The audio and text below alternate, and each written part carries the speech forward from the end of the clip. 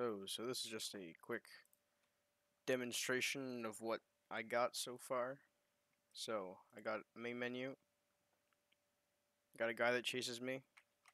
If I take him out, hit him again. Got a game over. I can hit restart or give up. Give up just exits the game. Same with uh, quit. If uh, same thing happens if I die. So you see my health bar is going down as he punches me. So I put it to 10 because he kept. I used to have it at 2, so he'd kill me in 2 hits. Plays really loud noise. and now you got this screen. So try to cover most of that. I don't know what that was, but try to cover most of that.